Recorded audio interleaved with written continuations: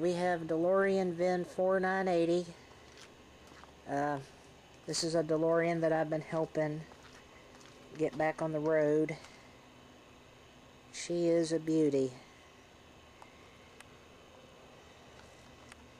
She needs a little bit of work, but hell, after 30 years, you can't expect these things to be perfect. Plus, only being produced for a couple years. And yes, that is a flux capacitor in the back seat, courtesy of eBay. It's a 5-speed, close ratio transmission. And th those are the pedals.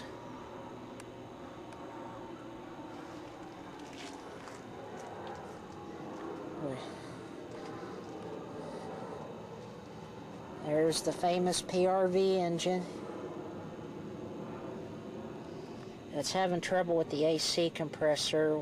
We're hoping that it doesn't need a new compressor. And uh, it's got an idle issue.